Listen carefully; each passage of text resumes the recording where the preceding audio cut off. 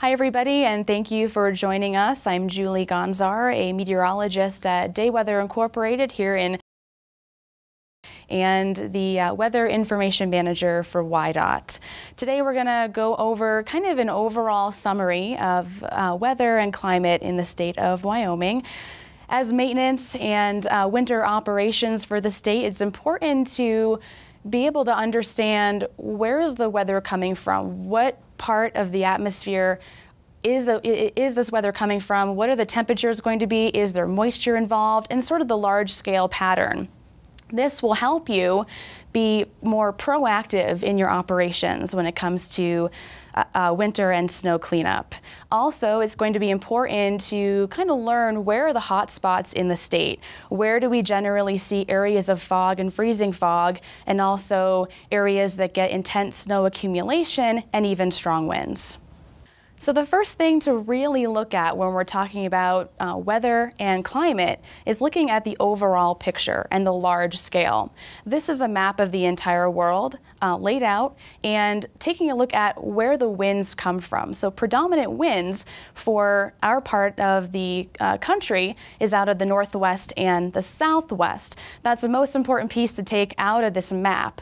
Um, throughout the year, of course, our wind directions will definitely vary, and that really depends on the terrain and certain um, fronts that will come through. So we're going to start now and just go through each of the different seasons in Wyoming, what we generally see for most of the time and what to expect. In the wintertime, since our winds predominantly come out of the uh, west and northwest, we see uh, most of our snow across the western slopes of the mountains. And in the entire state of Wyoming, we have some basins. And basins are lower elevation areas. They generally see less snow and less precipitation overall. Eastern slopes often see less snow also.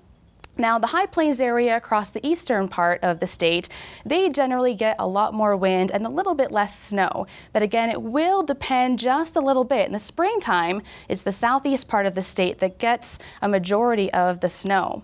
Also in the wintertime, strong gusty winds across a majority of the state. It's going to be very common to see gusting winds between 45 and 60 miles per hour, especially with cold fronts and winter storms. So if you take a look at the graphic, you'll see the state of Wyoming, and this is an average snowfall amount for the year um, for Wyoming. And you can see the blue areas are areas that we get a majority of the snow, and the yellow and orange areas are drier parts of the state. So consistent with our winds coming out of the west and northwest, we see a little bit more snow, of course, on the western slopes of the mountains and the mountains in general, just because of the high altitude. We also see a lot of snow in the southern range Mountains um, and around the Casper Mountain area. The basins and lower terrain areas consistently get less snow and precipitation.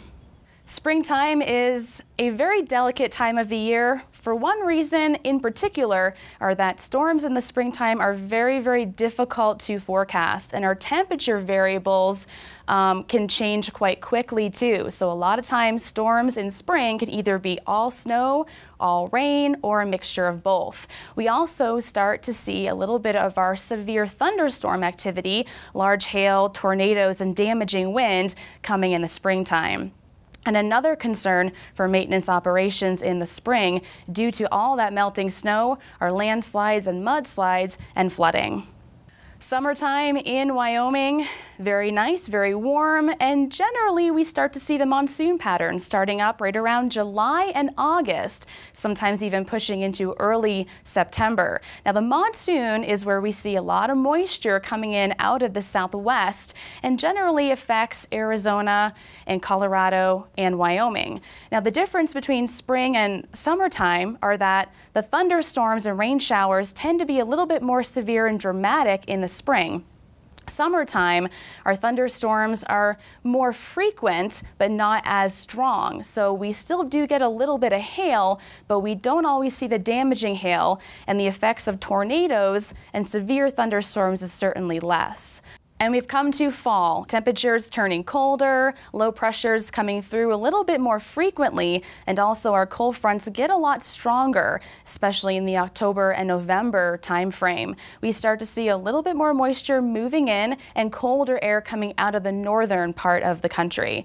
So a couple of things to pay attention to for fall time. We start to see a little bit more fog developing as cold air moves over a warm ground, and fog can lead to low visibility and also potential freezing on the roadways. If fog is dense enough, it can dampen that road, and if temperatures are cold enough, the road can freeze. So visibility is also an issue with fog and sometimes in fall we usually get our first snow right around the early part of September and generally that will catch people off guard so of course they're not going to drive as safely as they may in the wintertime when they're expecting it. An important thing to pay attention to in the fall time as temperatures start to cool pretty rapidly is precipitation and during the nighttime hours. A lot of times in October, temperatures can be cold enough where rain will turn to snow and freeze on the roadways, or we might even get a little bit of freezing rain possibilities in the overnight hours when temperatures are their coldest. For purposes of maintenance and operations, high impact events can happen throughout the entire year. In the wintertime, we're worried about strong wind, snow, ice, even sleet, and very slick roads, even low visibility with blowing snow. In the springtime, large hail, strong thunderstorms, and damaging wind and some flooding is also a big concern. Summertime, not a whole lot going on, but flooding can still occur, small hail, and even smoke from wildfires can reduce the visibility on the roadways and the highways. Fall time, rain changing to snow, freezing roads quickly when people may be a little bit unprepared. Fog is also a concern in the fall time. As a recap, we just went over some of the high impact uh, possibilities throughout the year in the state of Wyoming, like snow and ice and fog and low visibility. Understanding these weather features and how they develop and come about will help you in your winter maintenance operations.